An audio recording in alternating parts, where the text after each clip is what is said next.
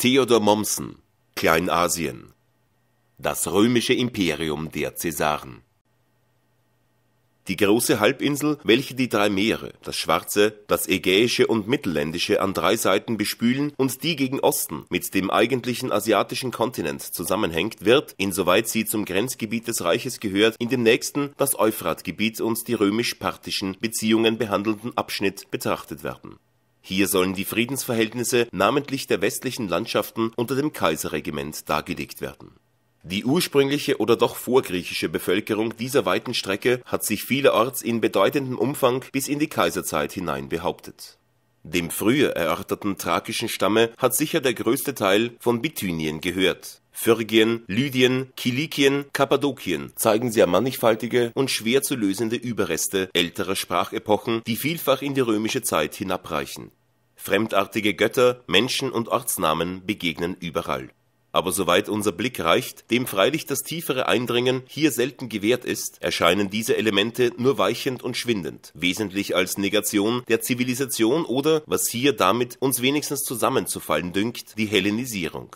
es wird am geeigneten Platz auf einzelne Gruppen dieser Kategorie zurückzukommen sein. Für die geschichtliche Entwicklung Kleinasiens in der Kaiserzeit gibt es daselbst nur zwei aktive Nationalitäten, die beiden zuletzt Eingewanderten in den Anfängen der geschichtlichen Zeit der Hellenen und während der Wirren der Diadochenzeit die Kelten. Die Geschichte der kleinasiatischen Hellenen, soweit sie ein Teil der römischen ist, ist früher dargelegt worden in der fernen Zeit, wo die Küsten des Mittelmeeres zuerst befahren und besiedelt wurden und die Welt anfing, unter die fortgeschrittenen Nationen auf Kosten der Zurückgebliebenen aufgeteilt zu werden, hatte die Hochflut der hellenischen Auswanderung sich zwar über alle Ufer des Mittelländischen Meeres, aber doch nirgendhin, selbst nicht nach Italien und Sizilien, in so breitem Strom ergossen wie über das inselreiche Ägäische Meer und die nahe, hafenreiche, liebliche Küste Vorderasiens die vorderasiatischen Griechen hatten dann selbst vor allen übrigen sich tätig an der weiteren Welteroberung beteiligt, von Miletos aus die Küsten des Schwarzen Meeres, von Phokäa und Knidos aus die der Westsee besiedeln helfen.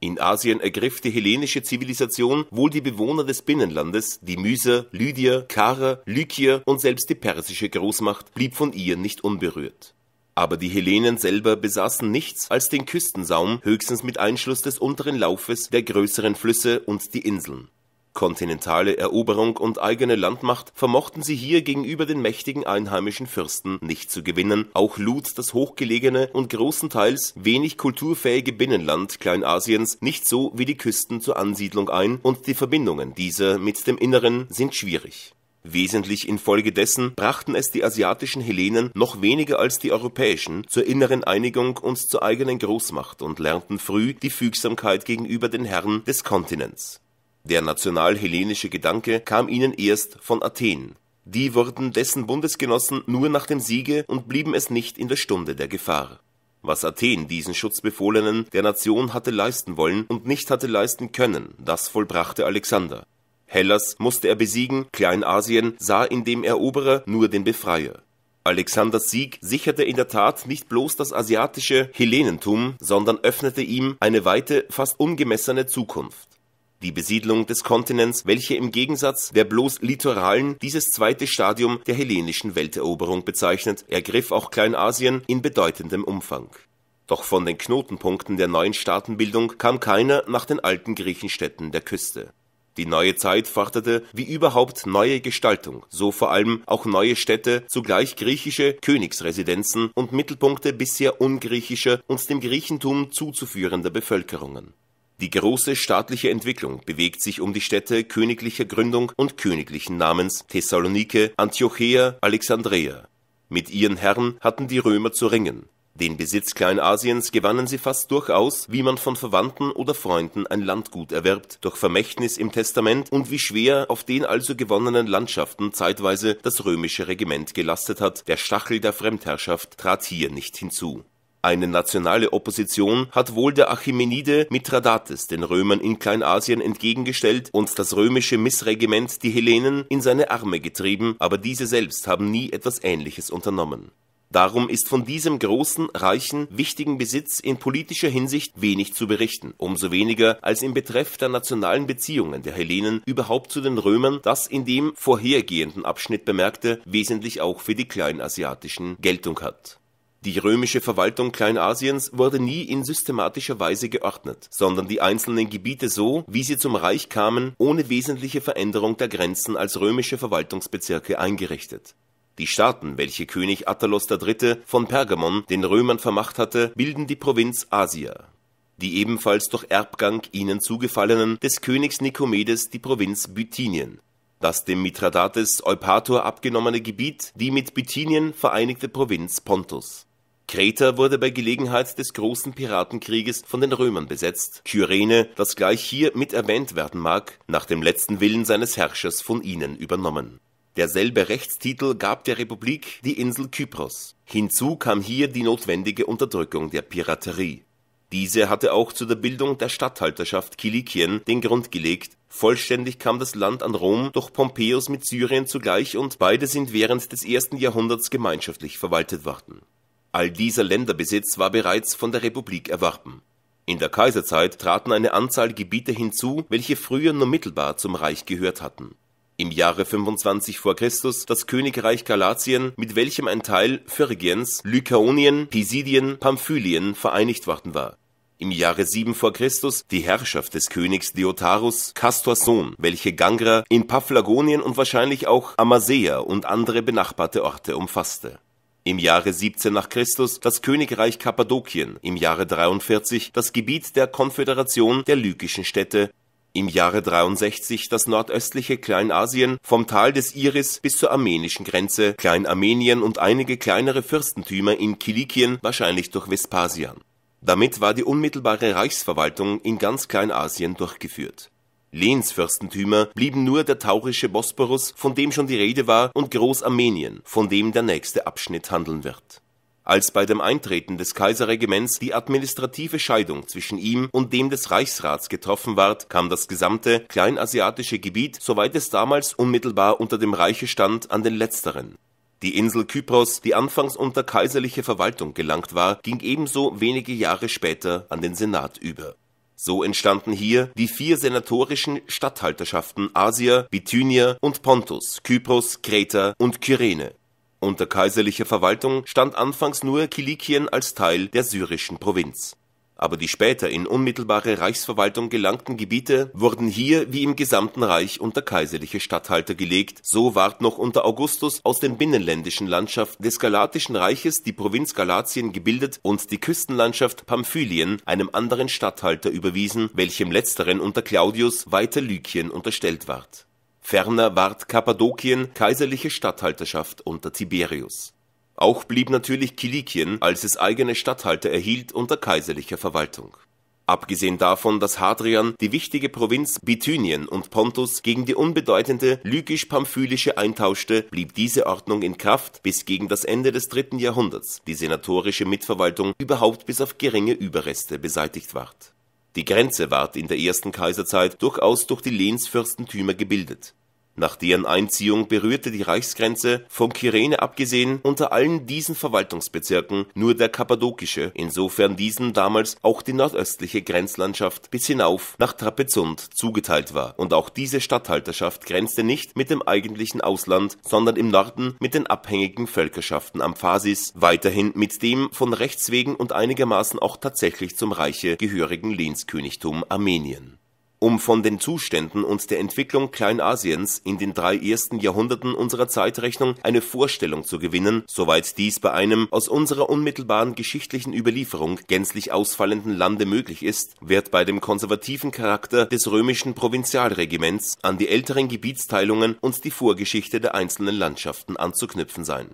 die Provinz Asia ist das alte Reich der Attaliden Vorderasien bis nördlich zur bithynischen, südlich zur lykischen Grenze. Die anfangs davon abgetrennten östlichen Striche, das große Phrygien, waren schon in republikanischer Zeit wieder dazu geschlagen worden und die Provinz reichte seitdem bis an die Landschaft der Galater und in die pisidischen Gebirge. Auch Rhodus und die übrigen kleineren Inseln des Ägäischen Meeres gehörten zu diesem Sprengel die ursprüngliche hellenische Ansiedlung hatte außer den Inseln und der eigentlichen Küste auch die unteren Täler der größeren Flüsse besetzt. Magnesia am Sipylos im Hermostal, das andere Magnesia und Tralles im Tal des Meandros waren schon von Alexander als griechische Städte gegründet oder doch griechische Städte geworden Die Karer, Lyder, Myser wurden früh wenigstens zu Halbhellenen. Die eintretende Griechenherrschaft fand in den Küstenlandschaften nicht viel zu tun Smyrna, das vor Jahrhunderten von den Barbaren des Binnenlandes zerstört worden war, erhob sich damals aus seinen Trümmern, um rasch wieder einer der ersten Sterne des glänzenden kleinasiatischen Städteringes zu werden, und wenn der Wiederaufbau von Ilion an dem Grabhügel Hektors mehr ein Werk der Pietät als der Politik war, so war die Anlage der Alexandreia an der Küste der Troas von bleibender Bedeutung. Pergamon im Tal des Caicus blühte auf als Residenz der Attaliden in dem großen Werk der Hellenisierung des Binnenlandes dieser Provinz wetteiferten Alexanders Intentionen entsprechend alle hellenischen Regierungen Lysimachos, die Seleukiden, die Attaliden. Die einzelnen Gründungen sind aus unserer Überlieferung noch mehr verschwunden als die Kriegsläufte der gleichen Epoche. Wir sind hauptsächlich angewiesen auf die Namen und die Beinamen der Städte, aber auch diese genügen, um die allgemeinen Umrisse dieser Jahrhunderte hindurch sich fortsetzenden und dennoch homogenen und zielbewussten Tätigkeit zu erkennen eine Reihe binnenländischer Ortschaften Stratonikea in Karien, Pelte, Blaundos, Dokimeion, Kardoi in Phyrgien, die Mysomakedonier im Bezirk von Ephesos, Thyatira, Hyrkania, Nakrasa im Hermosgebiet, die Askylaken im Bezirk von Adramytion werden in Urkunden oder sonstigen glaubwürdigen Zeugnissen als Makedonierstädte bezeichnet. Und diese Erwähnungen sind so zufälliger Art und die Ortschaften teilweise so unbedeutend, dass die gleiche Bezeichnung sicher auf eine große Anzahl anderer Niederlassungen Bevölkerungen in dieser Gegend sich erstreckt hat und wir schließen dürfen auf eine ausgedehnte, wahrscheinlich mit dem Schutz Vorderasiens gegen die Galater und Pisidier zusammenhängende Ansiedelung griechischer Soldaten in den bezeichneten Gegenden wenn ferner die Münzen der ansehnlichen phrygischen Stadt Synada mit ihrem Stadtnamen den der Ioner und der Dora sowie den des gemeinen Zeus verbinden, so muss einer der Alexandriden die Griechen insgemein aufgefordert haben, hier sich niederzulassen, und auch dies beschränkte sich gewiss nicht auf diese einzelne Stadt die zahlreichen Städte hauptsächlich des Binnenlandes, deren Namen auf die Königshäuser der Seleukiden oder der Attaliden zurückgehen oder die sonst griechisch benannt sind, sollen hier nicht aufgeführt werden. Es befinden sich namentlich unter den sicher von den Seleukiden gegründeten oder reorganisierten Städten mehrere der in späterer Zeit blühendsten und gesittetsten des Binnenlandes, zum Beispiel im südlichen Phrygien, Laodikea und vor allem Apamea, das alte Kalinä an der großen Heerstraße von der Westküste Kleinasiens zum mittleren Euphrat Euphrat schon in persischer Zeit das Entrepot für diesen Verkehr und unter Augustus nach Ephesos die bedeutendste Stadt der Provinz Asia. Wenn auch nicht jede Beilegung eines griechischen Namens mit Ansiedlung griechischer Kolonisten verbunden gewesen sein wird, so werden wir doch einen beträchtlichen Teil dieser Ortschaften den griechischen Pflanzstädten beizählen dürfen aber auch die städtischen Ansiedlungen nicht griechischen Ursprungs, die die Alexandriden vorfanden, lenkten von selber in die Bahnen der Hellenisierung ein, wie denn die Residenz des persischen Statthalters Sardes noch von Alexander selbst als griechisches Gemeinwesen geordnet ward. Diese städtische Entwicklung war vollzogen, als die Römer die Herrschaft über Vorderasien antraten, sie selber haben sie nicht in intensiver Weise gefördert dass eine große Anzahl der Stadtgemeinden in der östlichen Hälfte der Provinz ihre Jahre von dem der Stadt 84 vor Christus zählen, kommt daher, dass damals nach Beendigung des Mithradatischen Krieges diese Bezirke durch Sulla unter unmittelbar römische Verwaltung kamen. Stadtrecht haben diese Ortschaften nicht erst damals erhalten.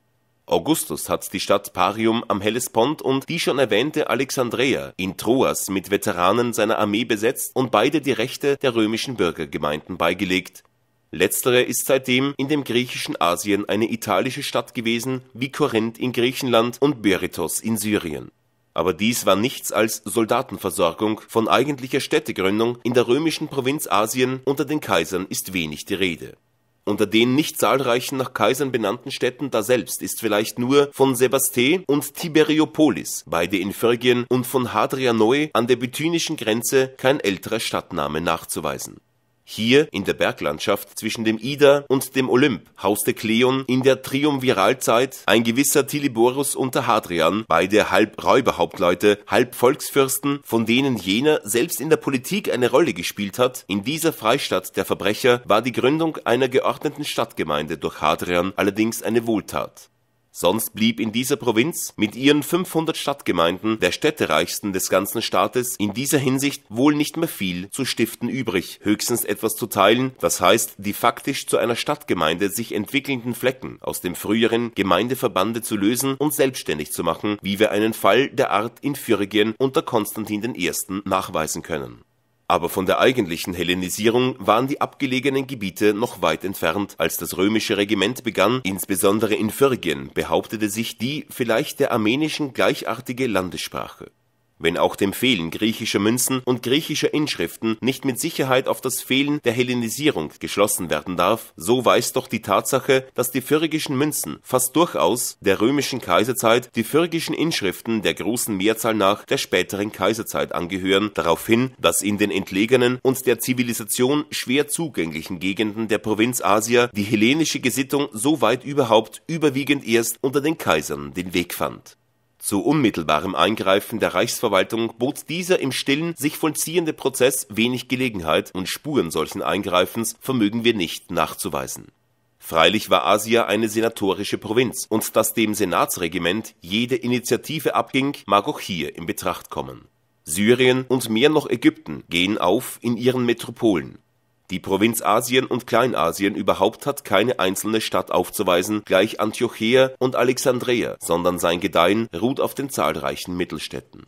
Die Einteilung der Städte in drei Klassen, welche sich unterscheiden im Stimmrecht auf dem Landtag, in der Repartition der von der ganzen Provinz aufzubringenden Leistungen, selbst in der Zahl der anzustellenden Stadtärzte und städtischen Lehrer, ist vorzugsweise diesen Landschaften eigen auch die städtischen Rivalitäten, die in Kleinasien so energisch und zum Teil so kindisch, gelegentlich auch so gehässig hervortreten, wie zum Beispiel der Krieg zwischen Severus und Niger in Bithynien, eigentlich ein Krieg der beiden rivalisierenden Kapitalen Nikomedia und Nikäa war, gehören zum Wesen zwar der hellenischen Politien überhaupt, insbesondere aber der kleinasiatischen des Wetteifers um die Kaisertempel werden wir weiterhin gedenken. In ähnlicher Weise war die Rangfolge der städtischen Deputationen bei den gemeinschaftlichen Festen in Kleinasien eine Lebensfrage. Magnesia am Mäander nennt sich auf den Münzen die siebte Stadt von Asia. Und vor allem der erste Platz war ein so begehrter, dass die Regierung schließlich sich dazu verstand, mehrere erste Städte zuzulassen. Ähnlich ging es mit der Metropolenbezeichnung die eigentliche Metropole der Provinz war Pergamon, die Residenz der Attaliden und der Sitz des Landtags. Aber Ephesos, die faktische Hauptstadt der Provinz, wo der Statthalter verpflichtet war, sein Amt anzutreten, und dass auch dieses Landungsrechts auf seinen Münzen sich berühmt, Smyrna mit dem ephesischen Nachbar in steter Rivalität und dem legitimen ersten Recht der Ephesier zum Trotz auf den Münzen sich nennend, die erste an Größe und Schönheit, das uralte Sardes, Kyzikos und andere mehr strebten nach dem gleichen Ehrenrechte mit diesen ihren Quengeleien, wegen deren regelmäßig der Senat und der Kaiser angegangen wurden, den griechischen Dummheiten, wie man in Rom zu sagen pflegte, waren die Kleinasiaten der stehende Verdruss und das stehende Gespött der vornehmen Römer. Nicht auf der gleichen Höhe wie das Attalidenreich befand sich Bithynien. Die ältere griechische Kolonisierung hatte sich hier lediglich auf die Küste beschränkt in der hellenistischen Epoche hatten anfangs die makedonischen Herrscher, später die völlig deren Wege wandelnde einheimische Dynastie neben der im Ganzen wohl auf Umnennung hinauslaufenden Einrichtung der Küstenorte einigermaßen auch das Binnenland erschlossen, namentlich durch die beiden glücklich gediehenen Anlagen von Nikäa und Prusa am Olymp. Von der ersteren wird hervorgehoben, dass die ersten Ansiedler von guter makedonischer und hellenischer Herkunft gewesen seien aber in der Intensität der Hellenisierung stand das Reich des Nikomedes weit zurück hinter dem des Bürgerfürsten von Pergamon. Insonderheit das östliche Binnenland kann vor Augustus nur wenig besiedelt gewesen sein. Dies ward in der Kaiserzeit anders in augustischer Zeit baute ein glücklicher Räuberhauptmann, der sich zur Ordnung bekehrte, an der galatischen Grenze die gänzlich herabgekommene Ortschaft Gordiokome unter dem Namen Juliopolis wieder auf. In derselben Gegend sind die Städte Bithynion Claudiopolis und Kratea Flaviopolis wahrscheinlich im Laufe des ersten Jahrhunderts zu griechischem Stadtrecht gelangt Überhaupt hat in Bithynien der Hellenismus unter der Kaiserzeit einen mächtigen Aufschwung genommen und der derbe, thrakische Schlag der Eingeborenen gab ihm eine gute Grundlage. Dass unter den in großer Anzahl bekannten Schriftsteinen dieser Provinz nicht mehr als vier der vorrömischen Zeit angehören, wird nicht allein daraus erklärt werden können, dass die städtische Ambition erst unter den Kaisern großgezogen worden ist In der Literatur der Kaiserzeit gehören eine Anzahl der besten und von der wuchernden Rhetorik am wenigsten erfassten Schriftsteller wie der Philosoph Dion von Prusa, die Historiker Memnon von Heraklea, Arianus von Nikomedea, Cassius Dion von Nikäa nach Bithynien.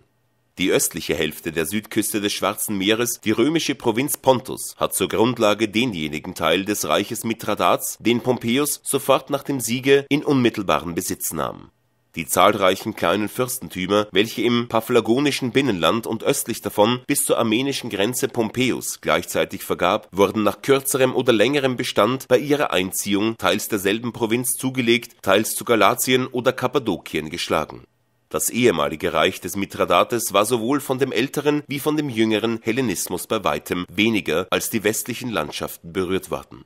als die Römer dieses Gebiet mittelbar oder unmittelbar in Besitz nahmen, gab es griechisch geordnete Städte dort streng genommen nicht. Amasea, die alte Residenz der pontischen Achämeniden und immer ihre Grabstadt war dies nicht. Die beiden alten griechischen Küstenstädte Amisos und das einst über das Schwarze Meer gebietende Sinope waren königliche Residenzen geworden und auch den wenigen von Mithradates angelegten Ortschaften, zum Beispiel Eupatoria, wird schwerlich griechische Politie gegeben worden sein hier aber war, wie schon früher ausgeführt ward, die römische Eroberung zugleich die Hellenisierung. Pompeius organisierte die Provinz in der Weise, dass er die elf Hauptortschaften derselben zu Städten machte und unter sie das Gebiet verteilte. Allerdings ähnelten diese künstlich geschaffenen Städte mit ihren ungeheuren Bezirken. Der von Sinope hatte an der Küste eine Ausdehnung von 16 deutschen Meilen und grenzte am Halys mit dem amisenischen mehr den keltischen Gauen als den eigentlich hellenischen und italischen Stadtgemeinden aber es wurden doch damals Sinope und Amisos in ihre alte Stellung wieder eingesetzt und andere Städte im Binnenland wie Pompeiopolis, Nikopolis, Megalopolis, das spätere Sebastea, ins Leben gerufen. Sinope erhielt durch den Diktator Caesar das Recht der römischen Kolonie und ohne Zweifel auch italische Ansiedler Wichtiger für die römische Verwaltung ward Trapezus, eine alte Kolonie von Sinope, die Stadt, die im Jahre 63 zur Provinz Kappadokien geschlagen ward, war wie der Standort der römischen Pontusflotte, so auch gewissermaßen die Operationsbasis für das Truppenkorps dieser Provinz, das einzige in ganz Kleinasien das binnenländische Kappadokien war seit der Einrichtung der Provinzen Pontus und Syrien in römischer Gewalt, über die Einziehung desselben im Anfang der Regierung des Tiberius, welche zunächst veranlasst ward durch den Versuch Armeniens, sich der römischen Lehnsherrschaft zu entwinden, wird in dem folgenden Abschnitt zu berichten sein. Der Hof und was unmittelbar damit zusammenhängt, hatte sich hellenisiert, etwa so wie die deutschen Höfe des 18. Jahrhunderts sich dem französischen Wesen zuwandten die Hauptstadt Caesarea, das alte Mazaka, gleich dem phrygischen Apamea, eine Zwischenstelle des großen Verkehrs zwischen den Häfen der Westküste und den Euphratländern und in römischer Zeit wie noch heute eine der blühendsten Handelsstädte Kleinasiens, war auf Pompeius Veranlassung nach dem Mithradatischen Kriege nicht bloß wieder aufgebaut, sondern wahrscheinlich damals auch mit Stadtrecht nach griechischer Art ausgestattet worden Kappadokien selbst war im Anfang der Kaiserzeit schwerlich mehr griechisch als Brandenburg und Pommern unter Friedrich dem Großen französisch. Als das Land römisch ward, zerfiel es nach den Angaben des gleichzeitigen Strabon nicht in Stadtbezirke, sondern in zehn Ämter, von denen nur zwei Städte hatten die schon genannte Hauptstadt und Tyana und diese Ordnung ist hier am größten und ganz so wenig verändert worden wie in Ägypten, wenn auch einzelne Ortschaften späterhin griechisches Stadtrecht empfingen, zum Beispiel Kaiser Markus aus dem kappadokischen Dorf, in dem seine Gemahlin gestorben war, die Stadt Faustinopolis machte Griechisch freilich sprachen die Kappadokier jetzt, aber die Studierenden aus Kappadokien hatten auswärts viel zu leiden wegen ihres groben Akzents und ihrer Fehler in Aussprache und Betonung, und wenn sie Attisch reden lernten, fanden die Landsleute ihre Sprache affektiert. Erst in der christlichen Zeit gaben die Studiengenossen des Kaisers Julian, Gregorius von Nazianzos und Basilius von Caesarea dem kappadokischen Namen einen besseren Klang die lykischen Städte in ihrem abgeschlossenen Berglande öffneten ihre Küste der griechischen Ansiedlung nicht, aber schlossen sich darum doch nicht gegen den hellenischen Einfluss ab. Lykien ist die einzige kleinasiatische Landschaft, in welcher die frühe Zivilisierung die Landessprache nicht beseitigt hat und welche, fast wie die Römer, in griechisches Wesen einging, ohne sich äußerlich zu hellenisieren es bezeichnet ihre Stellung, dass die Lykische Konföderation als solche dem Attischen Seebund sich angeschlossen und an die athenische Vormacht ihren Tribut entrichtet hat. Die Lykier haben nicht bloß ihre Kunst nach hellenischen Mustern geübt, sondern wohl auch ihr politische Ordnung früh in gleicher Weise geregelt Die Umwandlung des einst Rhodos untertänigen, aber nach dem dritten Makedonischen Krieg unabhängig gewordenen Städtebundes in eine römische Provinz, welche wegen des endlosen Haders unter den Verbündeten von Kaiser Claudius verfügt ward, wird das Vordringen des Hellenismus gefördert haben. Im Verlauf der Kaiserzeit sind dann die Lykier vollständig zu Griechen geworden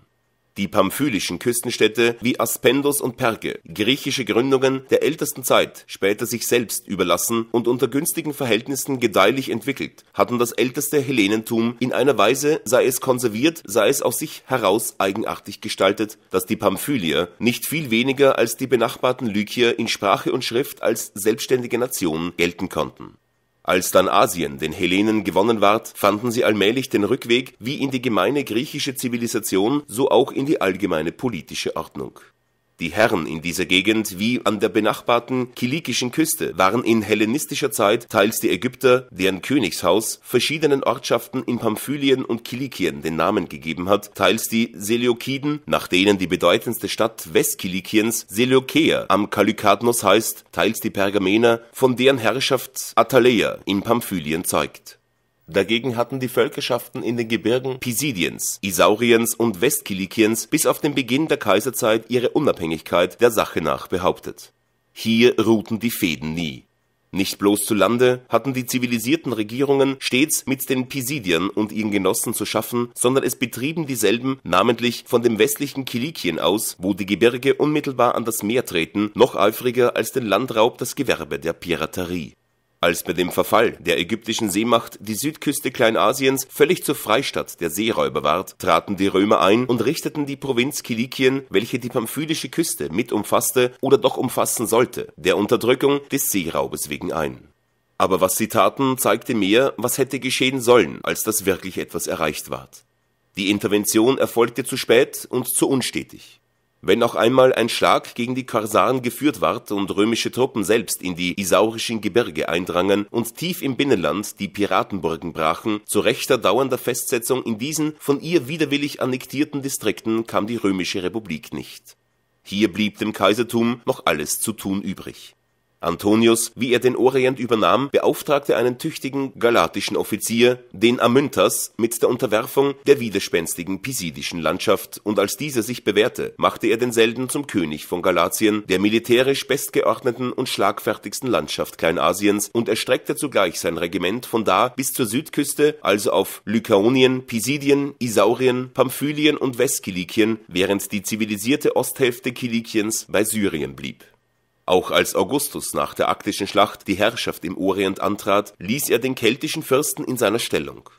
Derselbe machte auch wesentliche Fortschritte sowohl in der Unterdrückung der schlimmen, in den Schlupfwinkeln des westlichen Kilikiens hausenden Korsaren wie auch in der Ausrottung der Landräuber, tötete einen der schlimmsten dieser Raubherren, den Herrn von Derbe und Laranda im südlichen Lyakonien. Antipatros baute in Isauria sich seine Residenz und schlug die Pisidier nicht bloß hinaus aus dem angrenzenden phörgischen Gebiet, sondern fiel in ihr eigenes Land ein und nahm im Herzen desselben Kremna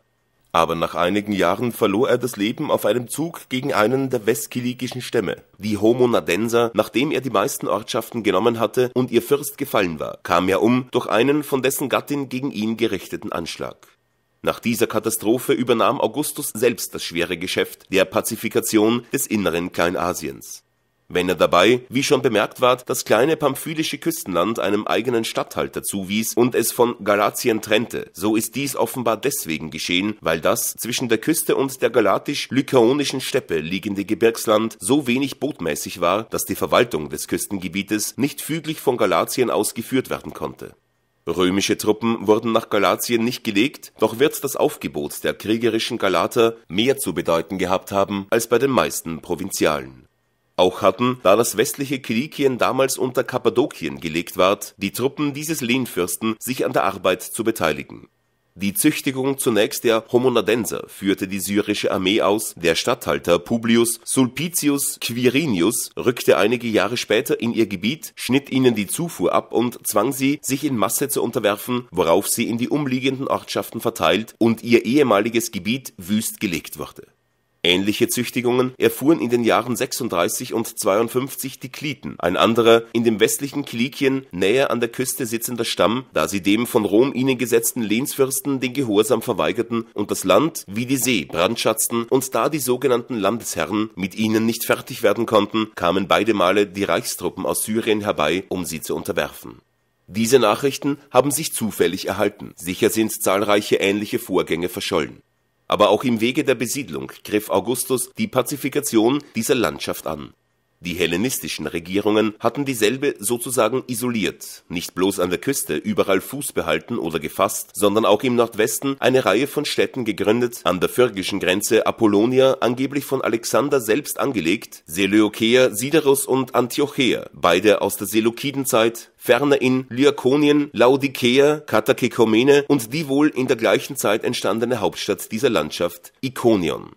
Aber in dem eigentlichen Bergland findet sich keine Spur hellenistischer Niederlassung. Und noch weniger hat der römische Senat sich an diese schwierige Aufgabe gemacht. Augustus tat es. Hier und nur hier im ganzen griechischen Osten begegnet eine Reihe von Kolonien römischer Veteranen offenbar bestimmt, dieses Gebiet der friedlichen Ansiedlung zu erobern von den eben genannten älteren Ansiedlungen wurde Antiocheia mit Veteranen belegt und römisch reorganisiert. Neu angelegt in Lykaonien, Parlais und Lystra, in Pisidien selbst das schon genannte Kremna, wie weiter südlich Olbasa und Komama die späteren Regierungen setzten die begonnene Arbeit nicht mit gleicher Energie fort, doch wurde unter Claudius das eiserne Seleukeia Pisidiens zum Claudischen gemacht, ferner im westkilikischen Binnenland Claudiopolis und nicht weit davon, vielleicht gleichzeitig, Germanikopolis ins Leben gerufen, auch Ikonion in Augusts Zeit, ein kleiner Ort, zu bedeutender Entwicklung gebracht die neu gegründeten Städte blieben freilich unbedeutende, schränkten aber doch den Spielraum der freien Gebirgsbewohner in namhafter Weise ein, und der Landfriede muss endlich auch hier seinen Einzug gehalten haben.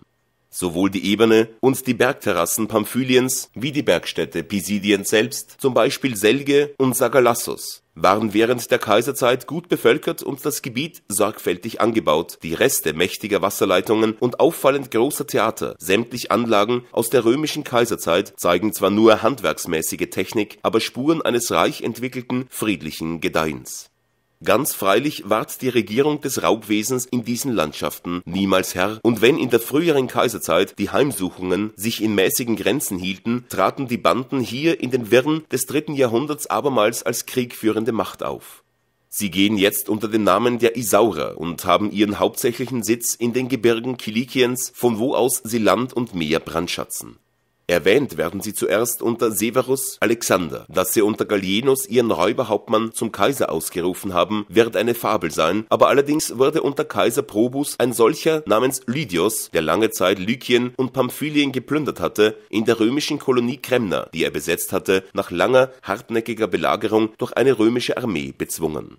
In späterer Zeit finden wir um ihr Gebiet einen Militärkordon gezogen und einen eigenen kommandierenden General für die Isaurer bestellt Ihre wilde Tapferkeit hat sogar denen von ihnen, welche bei dem byzantinischen Hof Dienste nehmen mochten, eine Zeit lang eine Stellung daselbst verschafft, wie die Makedonier sie am Hofe der Ptolemäer besessen hatten, ja einer aus ihrer Mitte, Zenon, ist als Kaiser von Byzanz gestorben die Landschaft Galatien endlich in ferner Zeit die Hauptstätte der orientalischen Herrschaft über Vorderasien und in den berühmten Felsskulpturen des heutigen Bogasköy, einst der Königsstadt Theria, die Erinnerungen einer fast verschollenen Herrlichkeit bewahrend, war im Laufe der Jahrhunderte in Sprache und Sitte eine keltische Insel inmitten der Fluten der Ostvölker geworden und ist dies in der inneren Organisation auch in der Kaiserzeit geblieben die drei keltischen Völkerschaften, welche bei der großen Wanderung der Nation um die Zeit des Krieges zwischen Pyrrhos und den Römern in das innere Kleinasien gelangt waren und hier, wie im Mittelalter, die Franken im Orient zu einem festgegliederten Soldatenstaat sich zusammengeschlossen und nach längerem Schweifen dies und jenseits des Halis ihre definitiven Sitze genommen hatten, hatten längst die Zeiten hinter sich, wo sie von dort aus Kleinasien brandschatzten und mit den Königen von Asia und Pergamon im Kampfe lagen, falls sie nicht als Söldner ihnen dienten, auch sie waren an der Übermacht der Römer zerschellt und ihnen in Asien nicht minder botmäßig geworden wie ihre Landsleute im Potal und an der Rhone und Seine. Aber trotz ihres mehrhundertjährigen Verweilens in Kleinasien trennte immer noch eine tiefe Kluft diese Okzidentalen von den Asiaten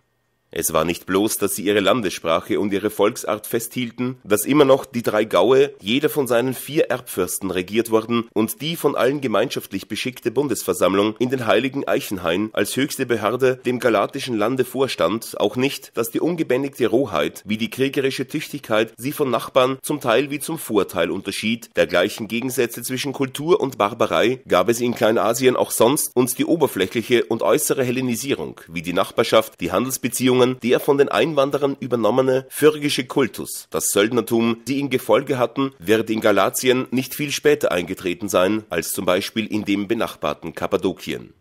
Der Gegensatz ist anderer Art. Die keltische und die hellenische Invasion haben in Kleinasien konkurriert und zu dem nationalen Gegensatz ist der Stachel der rivalisierenden Eroberung hinzugetreten Scharf trat dies zutage in der Mithradatischen Krise. Dem Mordbefehl des Mithradates gegen die Italiker ging zur Seite die Niedermetzelung des gesamten galatischen Adels und dementsprechend haben in den Kriegen gegen die orientalischen Befreier der Hellenen die Römer keinen treueren Bundesgenossen gehabt als die Galater Kleinasiens. Darum war der Erfolg der Römer auch der ihrige und gab der Sieg ihnen in den Angelegenheiten Kleinasiens eine Zeit lang eine führende Stellung. Das alte Vierfürstentum wurde, es scheint durch Pompeius, abgeschafft einer der neuen Gaufürsten, der in den Mithradatischen Kriegen sich am meisten bewährt hatte, Deiotarus, brachte außer seinem eigenen Gebiet Kleinarmenien und andere Stücke des ehemaligen Mithradatischen Reiches an sich und ward auch den übrigen galatischen Fürsten ein unbequemer Nachbar und der mächtigste unter den kleinasiatischen Dynasten nach dem Siege Caesars, dem er feindlich gegenübergestanden hatte und den er auch durch die gegen Pharnakes geleistete Hilfe nicht für sich zu gewinnen vermochte, wurden ihm die mit oder ohne Einwilligung der römischen Regierung gewonnenen Besitzungen größtenteils wieder entzogen. Der Caesarianer Mithradates von Pergamon, welcher von mütterlicher Seite dem galatischen Königshaus entsprossen war, erhielt das meiste von dem, was Diotarus verlor und wurde ihm sogar in Galatien selbst an die Seite gestellt aber nachdem dieser kurz darauf im taurischen Chersones sein Ende gefunden hatte und auch Caesar selbst nicht lange nachher ermordet worden war, setzte Deotarus sich ungeheißen wieder in den Besitz des Verlorenen. Und da er der jedes Mal im Orient vorherrschenden römischen Partei sich ebenso zu fügen verstand, wie sie rechtzeitig zu wechseln, starb er hochbejahrt im Jahre 40 vor Christus als Herr von ganz Galatien seine Nachkommen wurden mit einer kleinen Herrschaft in Paphlagonien abgefunden, sein Reich, noch erweitert gegen Süden hin durch Lyakonien und alles Land bis zur pamphylischen Küste, kam, wie schon gesagt ward, im Jahre 36 vor Christus durch Antonius an Amyntas, welcher schon in Deotarus letzten Jahren als dessen Sekretär und Feldherr das Regiment geführt zu haben scheint und als solcher vor der Schlacht von Philippi den Übergang von den republikanischen Feldherren zu den Triumviren bewirkt hatte. Seine weiteren Schicksale sind schon erzählt. An Klugheit und Tapferkeit seinem Vorgänger ebenbürtig diente er erst dem Antonius, dann dem Augustus als hauptsächliches Werkzeug für die Pazifikation des noch nicht untertänigen kleinasiatischen Gebietes, bis er hier im Jahre 25 vor Christus seinen Tod fand. Mit ihm endigte das galatische Königtum und verwandelte sich dasselbe in die römische Provinz Galatien Gallo-Graeker heißen die Bewohner desselben bei den Römern schon in der letzten Zeit der Republik. Sie sind, fügt Livius hinzu, ein Mischvolk, wie sie heißen, und aus der Art geschlagen. Auch musste ein guter Teil derselben von den älteren phrygischen Bewohnern dieser Landschaften abstammen Mehr noch fällt ins Gewicht, dass die eifrige Götterverehrung in Galatien und das dortige Priestertum mit den sakralen Institutionen der europäischen Kelten nichts gemein hat. Nicht bloß die große Mutter, deren heiliges Symbol die Römer der hannibalischen Zeit von den Tolistobogiern erbaten und empfingen, ist phrygischer Art, sondern auch deren Priester gehörten zum Teil wenigstens dem galatischen Adel an. Dennoch war noch in der römischen Provinz in Galatien die innere Ordnung überwiegend die keltische dass noch unter Pius in Galatien die dem hellenischen Recht fremde strenge väterliche Gewalt bestand, ist ein Beweis dafür aus dem Kreise des Privatrechtes. Auch in den öffentlichen Verhältnissen gab es in dieser Landschaft immer noch nur die drei alten Gemeinden der Tektosagen, der Tolistobogier, der Trokmer, die wohl ihren Namen die der drei Hauptörter Ankyra, Pessinus und Tauion beisetzen, aber wesentlich doch nicht sind als die wohlbekannten gallischen Gaue, die des Hauptortes ja auch nicht entbehren wenn bei den Kelten Asiens die Auffassung der Gemeinde als Stadt früher als bei den europäischen das Übergewicht gewinnt und der Name Ankyra rascher den der Tektosagen verdrängt, als in Europa der Name Burdigala den der Bituriger, dort Ankyra sogar als Vorort der gesamten Landschaft sich die Mutterstadt nennt, so zeigt dies allerdings, wie das ja auch nicht anders sein konnte, die Einwirkung der griechischen Nachbarschaft und den beginnenden Assimilationsprozess, dessen einzelne Phase zu verfolgen, die uns gebliebene oberflächliche Kunde nicht gestattet. Die keltischen Namen halten sich bis in die Zeit des Tiberius. Nachher erscheinen sie nur vereinzelt in den vornehmen Häusern. Dass die Römer seit Einrichtung der Provinz wie in Gallien nur die lateinische, so in Galatien neben dieser nur die griechische Sprache im Geschäftsverkehr zuließen, versteht sich von selbst. Wie es früher damit gehalten ward, wissen wir nicht, da vorrömische Schriftmäler in dieser Landschaft überhaupt nicht begegnen als Umgangssprache hat die keltische sich auch in Asien mit Zähigkeit behauptet, doch gewann allmählich das Griechische die Oberhand im vierten Jahrhundert war Ankyra eines der Hauptzentren der griechischen Bildung, die kleinen Städte in dem griechischen Galatien, sagt der bei Vorträgen für das gebildete Publikum grau gewordene Literat Themistios, können sich ja freilich mit Antiochäa nicht messen, aber die Leute eignen die Bildung sich eifriger an als die richtigen Hellenen, und wo sich der Philosophenmantel zeigt, hängen sie an ihm wie das Eisen am Magnet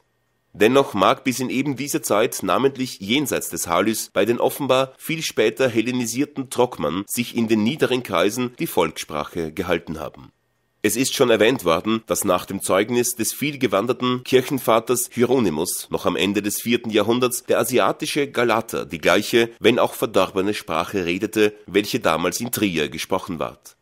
dass als Soldaten die Galater, wenn sie auch mit den Okzidentalen keinen Vergleich aushielten, doch weit brauchbarer waren als die griechischen Asiaten, dafür zeugt sowohl die Legion, welche König Deotarus aus seinen Untertanen nach römischem Muster aufgestellt hatte und die Augustus mit dem Reiche übernahm und in die römische Armee unter dem bisherigen Namen einreihte, wie auch, dass bei der orientalischen Rekrutierung der Kaiserzeit die Galater ebenso vorzugsweise herangezogen wurden wie im Okzident die Bataver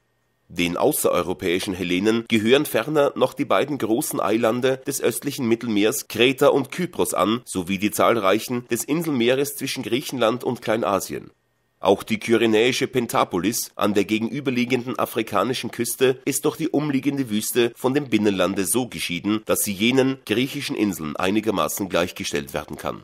Indes der allgemeinen geschichtlichen Auffassung fügen diese Elemente der ungeheuren unter dem Szepter der Kaiser vereinigten Ländermasse wesentlich neue Züge nicht hinzu. Die kleineren Inseln, früher und vollständiger hellenisiert als der Kontinent, gehören ihrem Wesen nach mehr zum europäischen Griechenland als zum kleinasiatischen Kolonialgebiet, wie denn des hellenischen Musterstaates Rhodos bei jenem schon mehrfach gedacht worden ist in dieser Epoche werden die Inseln hauptsächlich genannt, insofern es in der Kaiserzeit üblich ward, Männer aus den besseren Ständen zur Strafe nach denselben zu verbannen. Man wählte, wo der Fall besonders schwer war, die Klippen wie Gyaros und Donussa, aber auch Andros, Kytnos, Amorgos, einst blühende Zentren griechischer Kultur, waren jetzt Strafplätze, während in Lesbos und Samos nicht selten vornehme Römer und selbst Glieder des kaiserlichen Hauses freiwillig längeren Aufenthalt nahmen Kreta und Kypros, deren alter Hellenismus unter der persischen Herrschaft oder auch in völliger Isolierung die Fühlung mit der Heimat verloren hatte, ordneten sich Kypros als Dependance Ägyptens, die kretische Städte autonom in der hellenistischen und später in der römischen Epoche nach den allgemeinen Formen der griechischen Politie in den kyrenäischen Städten überwog das System der Lagiden. Wir finden in ihnen nicht bloß, wie in den eigentlich griechischen, die hellenischen Bürger und Metöken, sondern es stehen neben beiden, wie in Alexandria, die Ägypter, die Bauern, das heißt die eingeborenen Afrikaner, und unter den Metöken bilden, wie ebenfalls in Alexandria, die Juden eine zahlreiche und privilegierte Klasse. Den Griechen insgemein hat auch das römische Kaiserregiment niemals eine Vertretung gewährt die augustische Amphiktyonie beschränkte sich, wie wir sahen, auf die Hellenen in Achaia, Epirus und Makedonien. Wenn die hadrianischen Panhellenen in Athen sich als die Vertretung der sämtlichen Hellenen gerierten, so haben sie doch in die übrigen griechischen Provinzen nur insofern übergegriffen, als sie einzelnen Städten in Asien sozusagen das Ehrenhellenentum dekretierten, und dass sie dies taten, zeigt erst recht, dass die auswärtigen Griechengemeinden in jene Panhellenen keineswegs einbegriffen sind Wenn in Kleinasien von Vertretung oder Vertretern der Hellenen die Rede ist, so ist damit in den vollständig hellenisch geordneten Provinzen Asia und Bithynia der Landtag und die Landtagsvorsteher dieser Provinzen gemeint, insofern diese aus den Deputierten, die zu einer jenen derselben gehörigen Stadt hervorgehen und diese sämtlich griechische Politien sind, oder es werden in der nicht griechischen Provinz Galatien die neben dem galatischen Landtag stehenden Vertreter der in Galatien verweilenden Griechen als Griechenvorsteher bezeichnet. Der städtischen Konföderation hatte die römische Regierung in Kleinasien keine Veranlassung, besondere Hindernisse entgegenzustellen. In römischer wie in vorrömischer Zeit haben neun Städte der Troas gemeinschaftlich religiöse Verrichtungen vollzogen und gemeinschaftliche Feste gefeiert. Die Landtage der verschiedenen kleinasiatischen Provinzen, welche hier wie in dem gesamten Reich als feste Einrichtung von Augustus ins Leben gerufen sein werden, sind von denen der übrigen Provinzen an sich nicht verschieden. Doch hat diese Institution sich hier in eigenartiger Weise entwickelt oder vielmehr denaturiert mit dem nächsten Zweck dieser Jahresversammlungen der städtischen Deputierten einer jeden Provinz die Wünsche derselben dem Statthalter oder der Regierung zur Kenntnis zu bringen und überhaupt als Organ dieser Provinz zu dienen, verband sich hier zuerst die jährliche Festfeier für den regierenden Kaiser und das Kaisertum überhaupt. Augustus gestattete im Jahr 29 v. Chr. den Landtagen von Asia und Bithynien an ihren Versammlungsorten Pergamon und Nikomedea ihm Tempel zu errichten und göttliche Ehre zu erweisen diese neue Einrichtung dehnte sich bald auf das ganze Reich aus und die Verschmelzung der sakralen Institution mit der administrativen wurde ein leitender Gedanke der provinzialen Organisation der Kaiserzeit aber in Priester und Festpomp und städtischen Rivalitäten hat diese Einrichtung doch nirgends sich so entwickelt wie in der Provinz Asia und analog in den übrigen kleinasiatischen Provinzen und nirgends also neben und über die Munizipale sich eine provinziale Ambition mehr noch der Städte als der Individuen gestellt, wie sie in Kleinasien das gesamte öffentliche Leben beherrscht der von Jahr zu Jahr in der Provinz bestellte Hohepriester des neuen Tempels ist nicht bloß der vornehmste Würdenträger der Provinz, sondern es wird auch in der ganzen Provinz das Jahr nach ihm bezeichnet. Das Fest- und Spielwesen nach dem Muster der olympischen Feier, welches bei den Hellenen allen, wie wir sahen, mehr und mehr um sich griff, knüpfte in Kleinasien überwiegend an die Feste und Spiele des provinzialen Kaiserkultus an die Leitung derselben fiel dem Landtagspräsidenten in Asia, dem Asiachen, in Bithynien, dem Bytinachen und so weiter zu, und nicht minder trug er hauptsächlich die Kosten des Jahrfestes, obwohl ein Teil derselben, wie die übrigen dieses so glänzenden wie loyalen Gottesdienstes, durch freiwillige Gaben und Stiftungen gedeckt oder auch auf die einzelnen Städte repartiert wurden Daher waren diese Präsidenturen nur reichen Leuten zugänglich. Die Wohlhabenheit der Stadt Tralleis wird dadurch bezeichnet, dass an Asiachen, der Titel blieb auch nach Ablauf des Amtjahres, es nie daselbst fehle, die Geltung des Apostels Paulus in Ephesos durch seine Verbindung mit verschiedenen dortigen Asiachen Trotz der Kosten war dies eine viel umworbene Ehrenstellung, nicht wegen der daran geknüpften Privilegien, zum Beispiel der Befreiung von der Vormundschaft, sondern wegen ihres äußeren Glanzes. Der festliche Einzug in die Stadt im Purpurgewand und den Kranz auf dem Haupt und der Vortritt der das Rauchfass schwingenden Prozessionsknaben war im Horizont der Kleinasiaten, was bei den Hellenen der Ölzweig von Olympia Mehrfach rühmt sich dieser oder jener vornehme Asiate nicht bloß selber Asiach gewesen zu sein, sondern auch von Asiachen abzustammen. Wenn sich dieser Kultus anfänglich auf die Provinzialhauptstädte beschränkte, so sprengte die munizipale Ambition, die namentlich in der Provinz Asia unglaubliche Verhältnisse annahm, sehr bald diese Schranken hier wurde schon im Jahre 23 dem damals regierenden Kaiser Tiberius sowie seiner Mutter und dem Senat ein zweiter Tempel von der Provinz dekretiert und nach langem Hader der Städte durch Beschluss des Senats in Smyrna errichtet. Die anderen größeren Städte folgten bei späteren Gelegenheiten nach hatte bis dahin die Provinz wie nur einen Tempel, so auch nur einen Vorsteher und einen Oberpriester gehabt, so mussten jetzt nicht bloß so viele Oberpriester bestellt werden, als es Provinzialtempel gab, sondern es wurden auch, da die Leitung des Tempelfestes und die Ausrichtung der Spiele nicht dem Oberpriester, sondern dem Landesvorsteher zustand und es den rivalisierenden Großstädten hauptsächlich um die Feste und Spiele zu tun war, sämtlichen Oberpriestern zugleich der Titel und das Recht der Vorsteherschaft gegeben, so dass wenigstens in Asia die Asiarchie und das Oberpriestertum der Provinzialtempel zusammenfielen.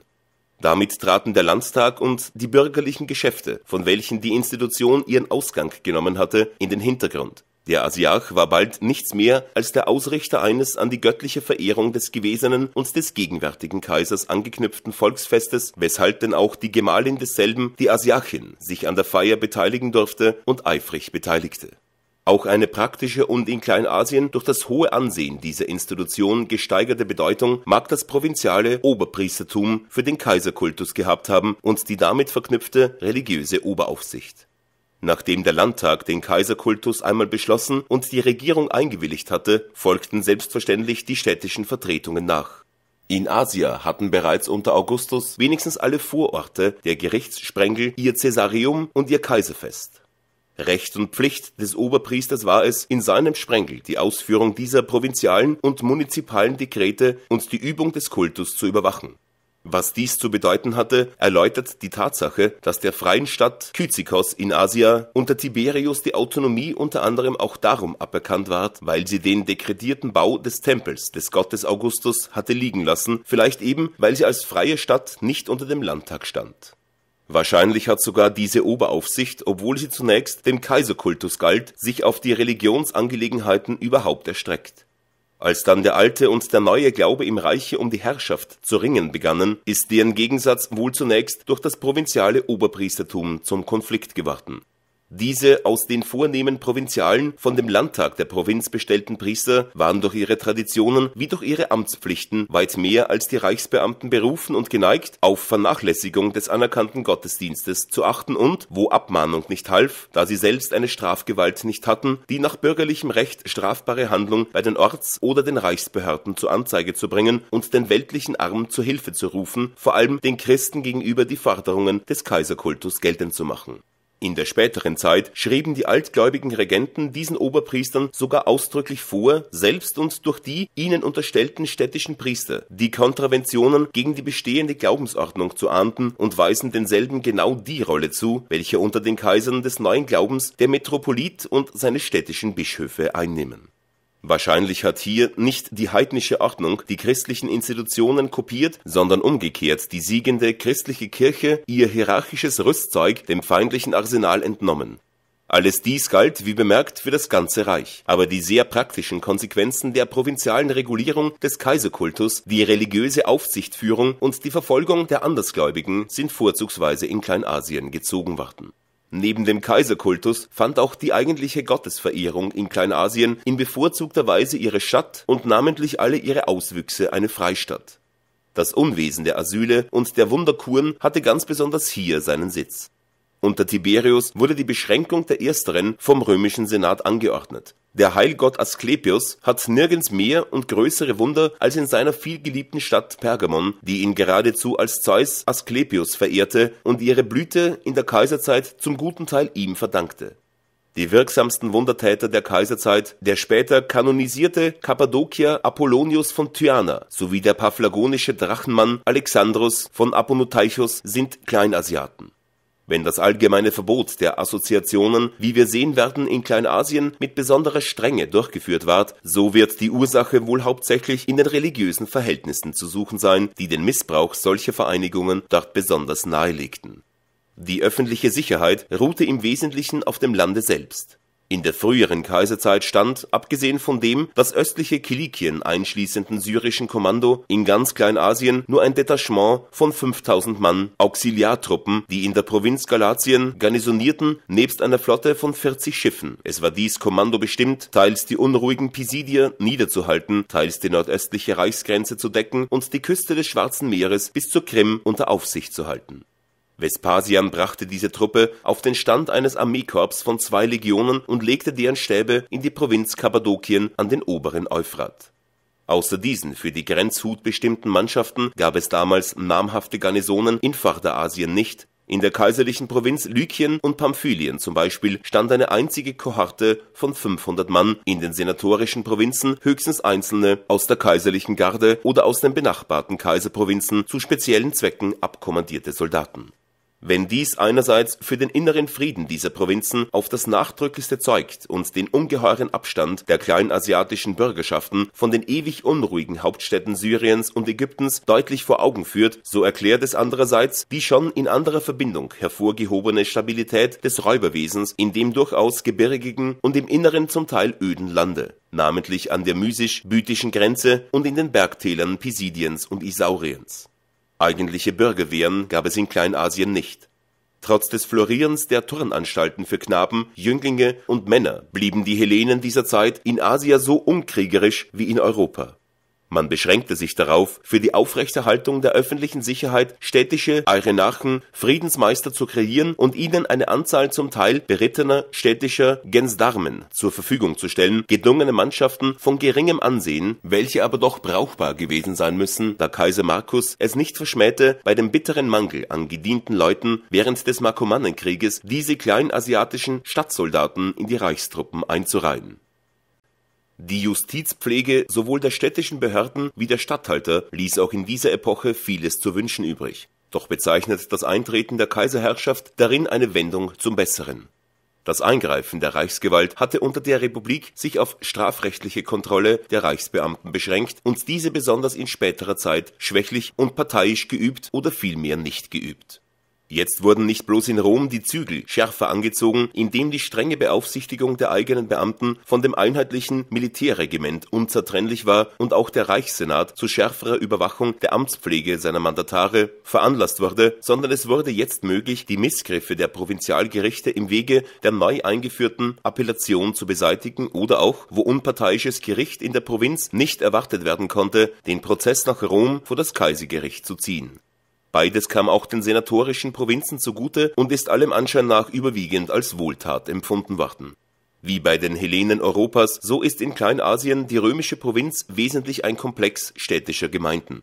wie in Hellas werden auch hier die überkommenden Formen der demokratischen Politie im Allgemeinen festgehalten, die Beamten zum Beispiel auch ferner von den Bürgerschaften gewählt, überall aber wird der bestimmende Einfluss in die Hände der Begüterten gelegt und dem Belieben der Menge sowie dem ernstlichen politischen Ehrgeiz kein Spielraum gestattet unter den Beschränkungen der munizipalen Autonomie ist den kleinasiatischen Städten eigentümlich, dass den schon erwähnten Eirenachen den städtischen Polizeimeister, späterhin der Statthalter, aus einer von dem Rat der Stadt aufgestellten Liste von zehn Personen ernannte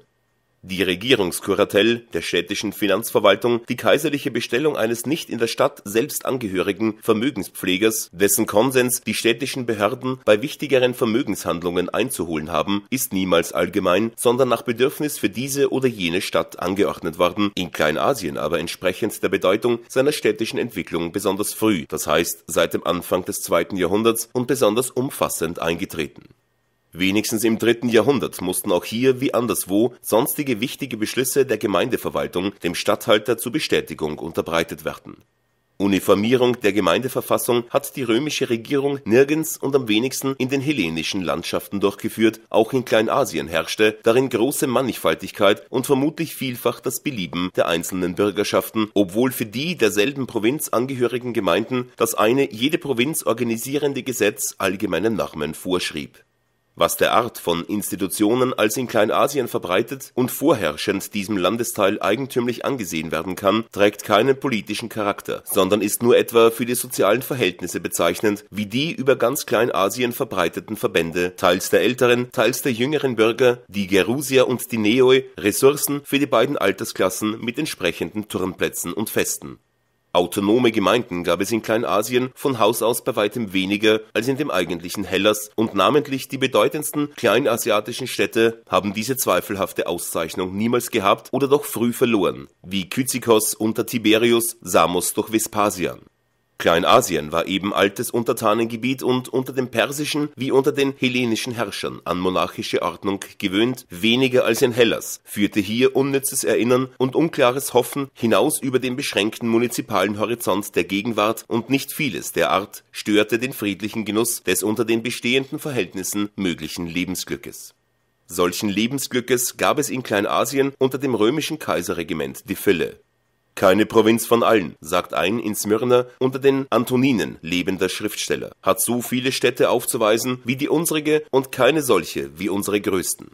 Ihr kommen zugute die reizende Gegend, die Gunst des Klimas, die mannigfaltigen Produkte, die Lage im Mittelpunkt des Reiches, ein Kranz ringsum befriedeter Völker, die gute Ordnung, die Seltenheit der Verbrechen, die milde Behandlung der Sklaven, die Rücksicht und das Wohlwollen der Herrscher.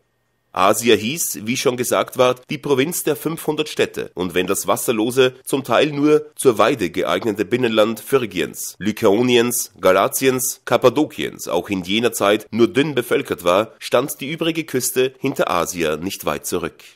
die dauernde Blüte der kulturfähigen Landschaften Kleinasiens erschreckt sich nicht bloß auf die Städte glänzenden Namens, wie Ephesos, Smyrna, Laodikea, Apamea, wo immer ein von der Verwüstung der anderthalb Jahrtausende, die uns von jener Zeit trennen, vergessener Winkel des Landes sich der Forschung erschließt, da ist das erste und das mächtigste Gefühl das Entsetzen, fast möchte man sagen, die Scham über den Kontrast der elenden und jammervollen Gegenwart mit dem Glück und dem Glanz der vergangenen Römerzeit auf einer abgelegenen Bergspitze unweit der lykischen Küste, da wo nach der griechischen Fabel die Chimäre hauste, lag das alte Kragos, wahrscheinlich nur aus Balken und Lehmziegeln gebaut und darum spurlos verschwunden bis auf die zyklopische Festungsmauer am Fuß des Hügels. Unter der Kuppe breitet ein anmutiges, fruchtbares Tal sich aus, mit frischer Alpenluft und südlicher Vegetation, umgeben von Wald und wildreichen Bergen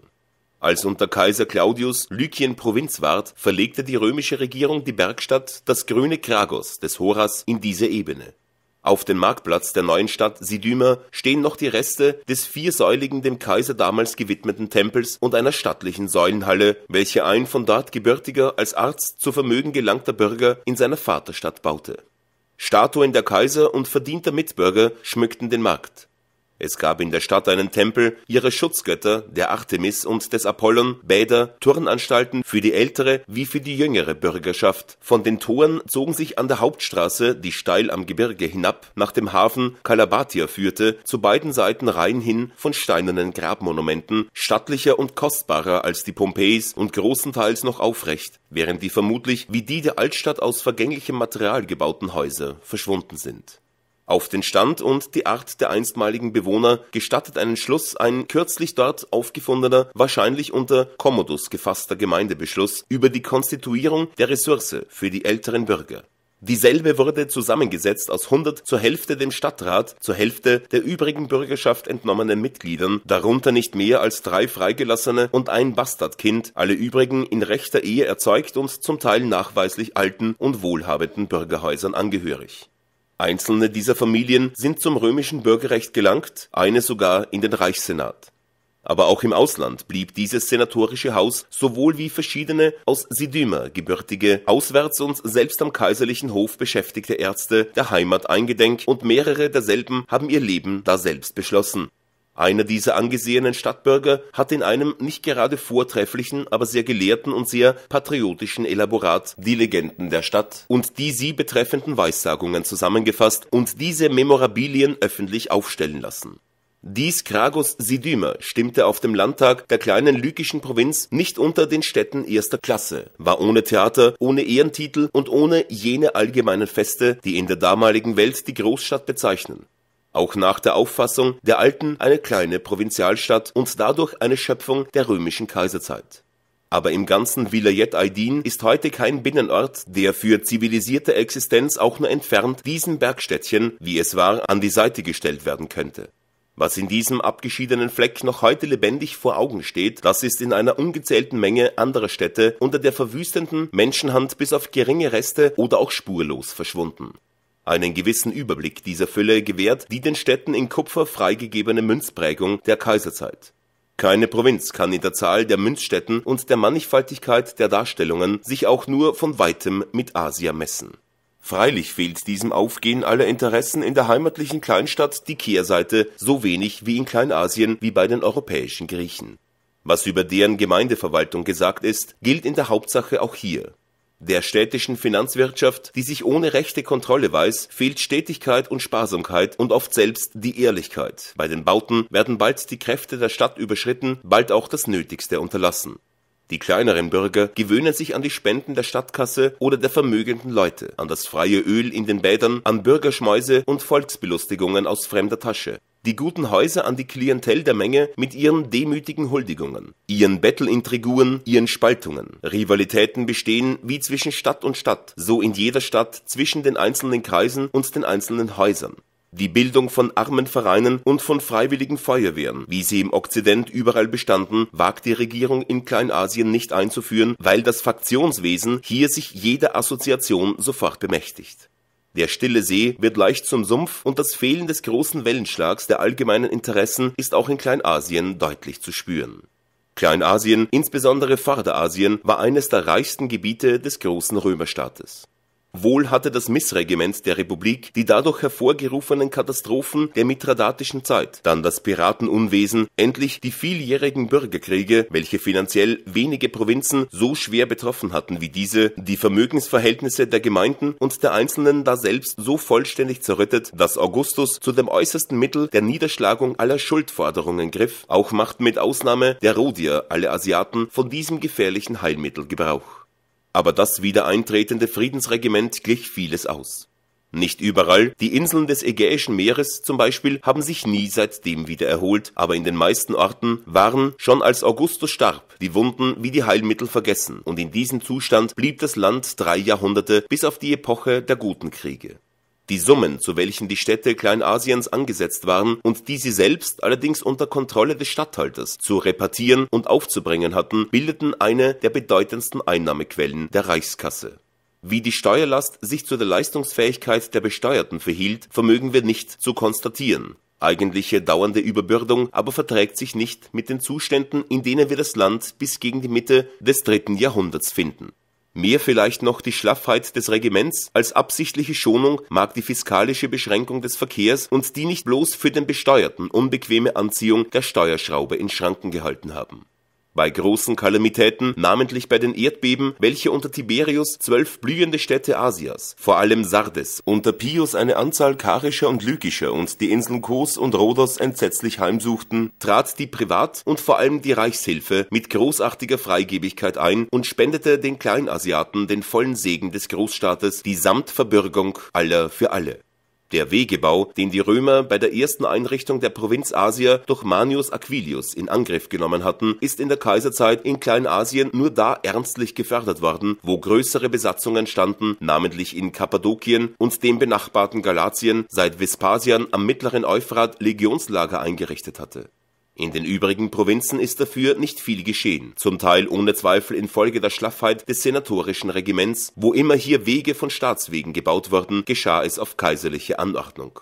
Diese Blüte Kleinasiens ist nicht das Werk einer Regierung von überlegener Einsicht und energischer Tatkraft. Die politischen Einrichtungen, die gewerblichen und kommerziellen Anregungen, die literarische und künstlerische Initiative gehören in Kleinasien durchaus den alten Freistädten oder den Attaliden was die römische Regierung dem Lande gegeben hat, war wesentlich der dauernde Friedensstand und die Duldung des Wohlstandes im Inneren, die Abwesenheit derjenigen Regierungsweisheit, die jedes gesunde Paar, Arme und jedes ersparte Geldstück betrachtet als ihren unmittelbaren Zwecken von Rechts wegen verfallen, negative Tugenden keineswegs hervorragender Persönlichkeiten, aber oftmals dem gemeinen Gedeihen ersprießlicher als die Großtaten der selbstgesetzten Vormünder der Menschheit der Wohlstand Kleinasiens beruhte in schönem Gleichgewicht ebenso auf der Bodenkultur wie auf der Industrie und dem Handel. Die Gunst der Natur ist insbesondere den Küstenlandschaften in reichstem Maße zuteil geworden und vielfach zeigte sich mit wie emsigem Fleiß auch unter schwierigeren Verhältnissen, zum Beispiel in einem felsigen Tal des Eurymedon in Pamphylien von den Bürgern von Selge, jedes irgend brauchbare Bodenstück ausgenutzt ward die Erzeugnisse der kleinasiatischen Industrie sind zu zahlreich und zu mannigfaltig, um bei den einzelnen zu verweilen. Erwähnt mag werden, dass die ungeheuren Triften des Binnenlandes mit ihren Schaf und Ziegenherden Kleinasien zum Hauptland der Wollindustrie und der Weberei überhaupt gemacht haben. Es genügt zu erinnern an die milesische und die galatische, das ist die Angorawolle, die atalischen Goldstickereien, die nach nervischer, das heißt flandrischer Art in den Fabriken des phrygischen Laodikea gefertigten Tuche dass in Ephesos fast ein Aufstand ausgebrochen wäre, weil die Goldschmiede von dem neuen Christenglauben Beschädigung ihres Absatzes von Heiligenbildern befürchteten, ist bekannt. In Philadelphia, einer bedeutenden Stadt Lydiens, kennen wir von den sieben Quartieren die Namen zweier. Es sind die der Wollenweber und der Schuster. Wahrscheinlich tritt hier zutage, was bei den übrigen Städten unter älteren und vornehmeren Namen sich versteckt, dass die bedeutenden Städte Asias durchgängig nicht bloß eine Menge Handwerker, sondern auch eine zahlreiche Fabrikbevölkerung in sich schlossen. Der Geld und Handelsverkehr ruhte in Kleinasien hauptsächlich auf der eigenen Produktion der große ausländische Import und Export Syriens und Ägyptens war hier in der Hauptsache ausgeschlossen, wenn auch aus den östlichen Ländern mancherlei Artikel, zum Beispiel durch die galatischen Händler, eine beträchtliche Zahl von Sklaven nach Kleinasien eingeführt wurden aber wenn die römischen Kaufleute hier, wie es scheint, in jeder großen und kleinen Stadt, selbst in Orten wie Ilion und Assos, in Mysien, Prymnessos und Traianopolis in Phrygien in solcher Zahl zu finden waren, dass ihre Vereine neben der Stadtbürgerschaft bei öffentlichen Akten sich zu beteiligen pflegen, wenn in Hierapolis im phyrgischen Binnenland ein Fabrikant auf sein Grab schreiben ließ, dass er 72 Mal in seinem Leben um Kap Malea nach Italien gefahren sei und ein römischer Dichter den Kaufmann der Hauptstadt schildert, welcher nach dem Hafen eilt, um den Geschäftsfreund aus dem nicht weit von Hierapolis entfernten Kibyra nicht in die Hände von Konkurrenten fallen zu lassen, so öffnet sich damit ein Einblick in ein reges gewerbliches und kaufmännisches Treiben nicht bloß in den Häfen. Von dem stetigen Verkehr mit Italien zeugt auch die Sprache. Unter den in Kleinasien gangbar gewordenen lateinischen Wörtern rühren nicht wenige aus solchem Verkehr her, wie denn in Ephesos sogar die Gilde der Wollenweber sich lateinisch benennt Lehrer aller Art und Ärzte kamen nach Italien und den übrigen Ländern lateinischer Zunge vorzugsweise von hier und gewannen nicht bloß oftmals bedeutendes Vermögen, sondern brachten dies auch in ihre Heimat zurück. Unter denen, welchen die Städte Kleinasiens Bauwerke oder Stiftungen verdanken, nehmen die reich gewordenen Ärzte und Literaten einen hervorragenden Platz ein. Endlich die Auswanderung der großen Familien nach Italien hat Kleinasien weniger und später betroffen als den Okzident aus Vienna und Narbo siedelte man leichter nach der Hauptstadt des Reiches über als aus den griechischen Städten, und auch die Regierung war in früherer Zeit nicht eben geneigt, die vornehmen Munizipalen Kleinasiens an den Hof zu ziehen und sie in die römische Aristokratie einzuführen wenn wir absehen von der wunderbaren Frühblüte, in welcher das ionische Epos und die äolische Lyrik, die Anfänge der Geschichtsschreibung und der Philosophie, der Plastik und der Malerei an diesen Gestaden keimten, so war in der Wissenschaft wie in der Kunstübung die große Zeit Kleinasiens die der Attaliden, welche die Erinnerung jener noch größeren Epoche treulich pflegte wenn Smyrna seinem Bürger Homerus göttliche Verehrung erwies, auch Münzen auf ihn schlug und nach ihm nannte, so drückt sich darin die Empfindung aus, die ganz Ionien und ganz Kleinasien beherrschte, dass die göttliche Kunst überhaupt in Hellas und im Besonderen in Ionien auf die Erde niedergestiegen sei. Wie früh und in welchem Umfang für den Elementarunterricht in diesen Gegenden öffentlich gesorgt worden ist, veranschaulicht ein denselben betreffender Beschluss der Stadt Theos in Lydien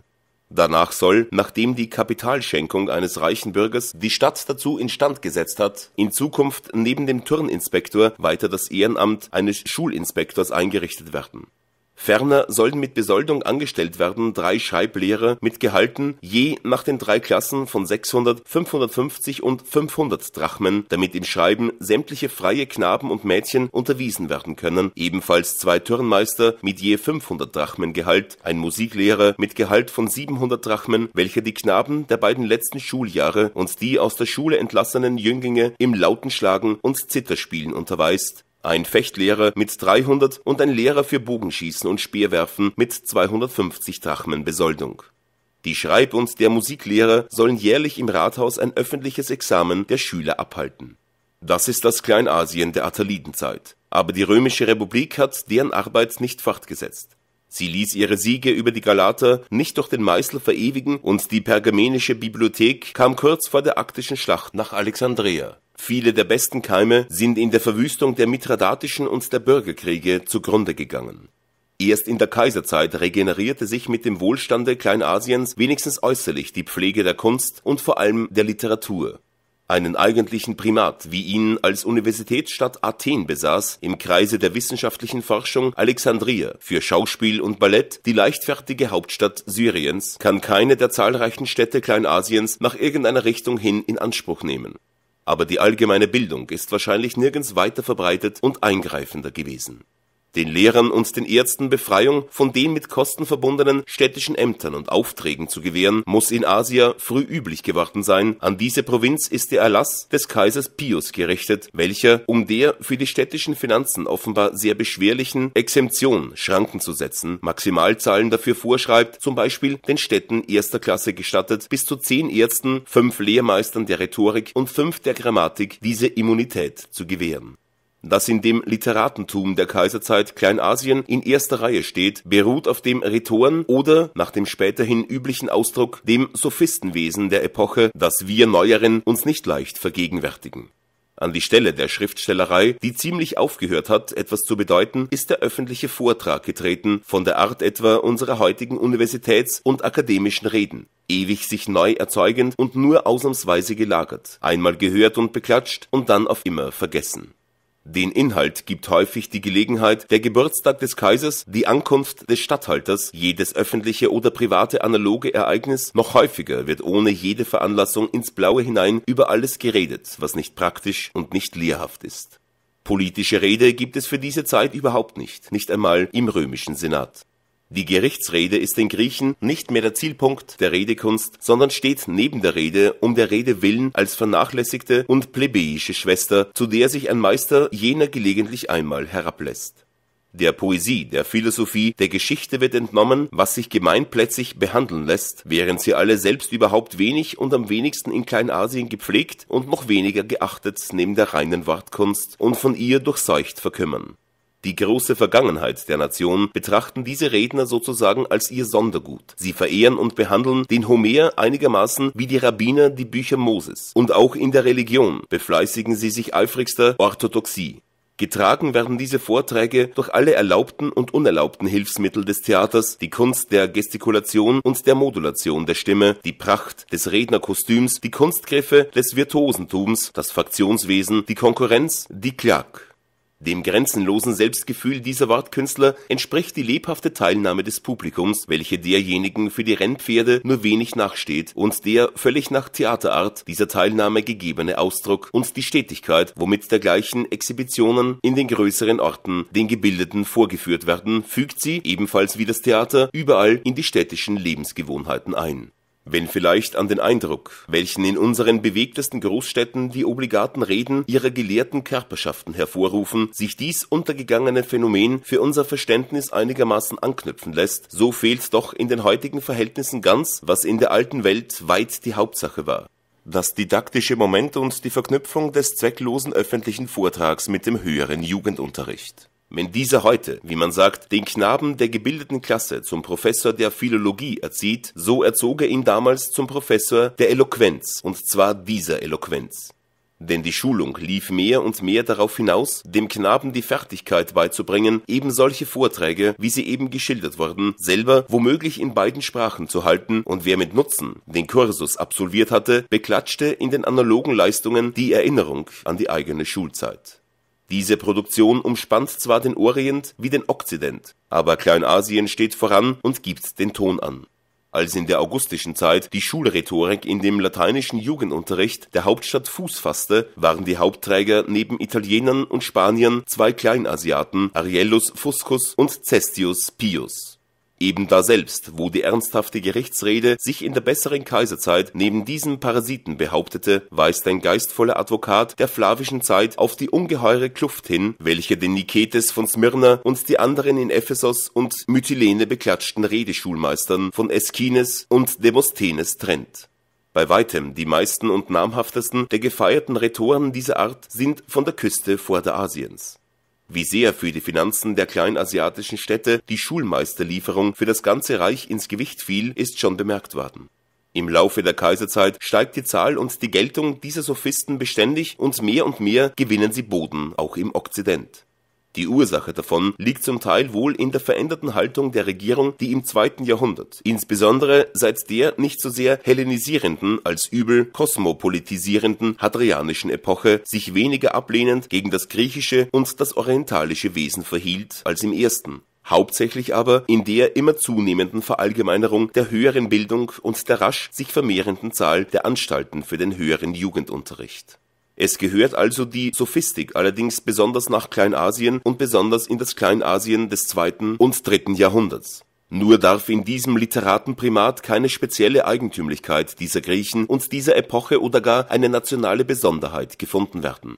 Die Sophistik sieht sich überall gleich, in Smyrna und Athen wie in Rom und Karthago. Die Eloquenzmeister wurden verschickt, wie die Lampenformen und das Fabrikat überall in gleicher Weise, nach Verlangen, griechisch oder lateinisch hergestellt, die Fabrikation dem Bedarf entsprechend gesteigert. Aber freilich lieferten diejenigen griechischen Landschaften, die an Wohlstand und Bildung voranstanden, diesen Exportartikel in bester Qualität und in größter Quantität. Von Kleinasien gilt dies für die Zeiten Sullas und Ciceros nicht minder wie für die Hadrians und der Antonine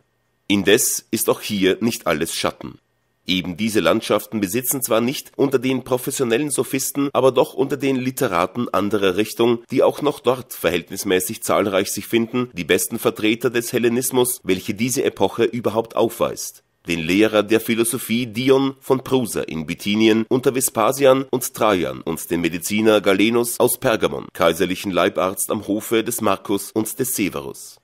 bei Galenus erfreut namentlich die feine Weise des Welt und des Hofmanns in Verbindung mit einer allgemeinen literarischen und philosophischen Bildung, wie sie bei den Ärzten dieser Zeit überhaupt häufig hervortritt. An Reinheit der Gesinnung und Klarheit über die Lage der Dinge gibt der Bithynier Dion dem Gelehrten von Cheronea nichts nach, an Gestaltungskraft, an Feinheit und Schlagfertigkeit der Rede, an ernstem Sinn bei leichter Form, an praktischer Energie ist er ihm überlegen